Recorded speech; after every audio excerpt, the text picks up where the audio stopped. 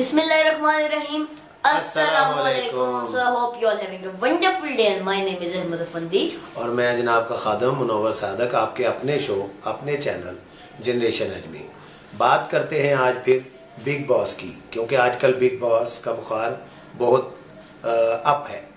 اگر نمبرنگ کے حوالے سے آسم ریاض کے بعد کوئی کنٹیسٹنٹ اگر اس شو میں واقعی ابھر کر آیا تھا تو اس کا نام تھا سنا۔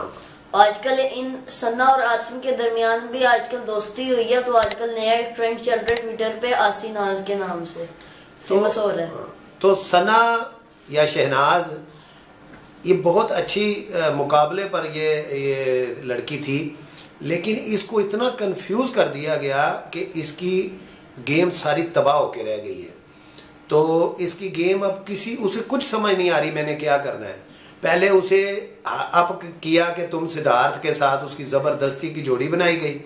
جب آخری اب منتھ رہ گیا ہے، تو اب اسے اس بات کا احساس ہو گیا ہے کہ یہ تو صدارتھ جناب مجھے استعمال کر کے صدارتھ کو اوپر لایا گیا ہے۔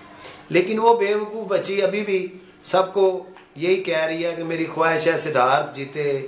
میں صدارتھ کے ہاتھ میں ٹرافی دیکھنا چاہتی ہوں، حالانکہ اس کے والد صاحب سنا کے یہ اس کو سمجھا کے گئے تھے۔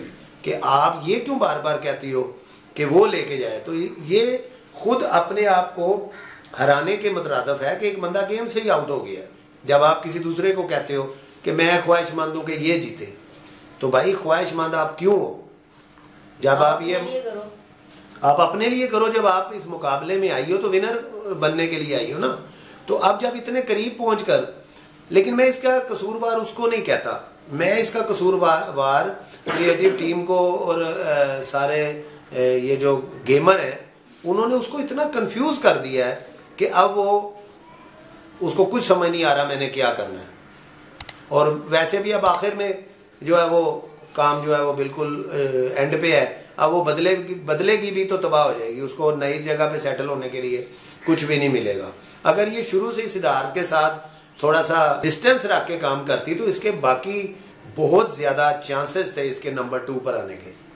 تو یہ رینکنگ میں اس وقت ہمارے خیال میں نمبر ون آسم ہے اور نمبر ٹو سنا سنا یا شہناز۔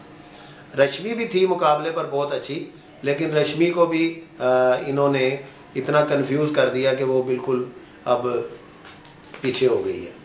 تو جناب، آج کے لیے اتنا ہی۔ سنا کے لیے ایک گانا ہے، سسیے بے خبرے تیرا لٹے آئی شہر پمبورنی۔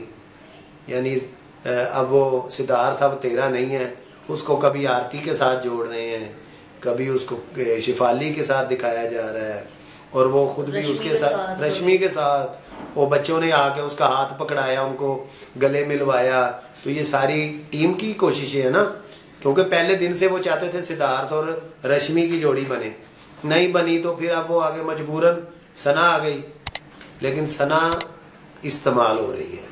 ورنہ اس میں پوٹینشل تھا کہ وہ بھی اوپر آتی۔ تو آج کے لیے اتنا ہی۔ ملتے ہیں نیکسٹ ویڈیو میں۔ تب تک کے لیے اپنا بہت سا خیال رکھیے گی۔ اللہ حافظ۔ پیس فور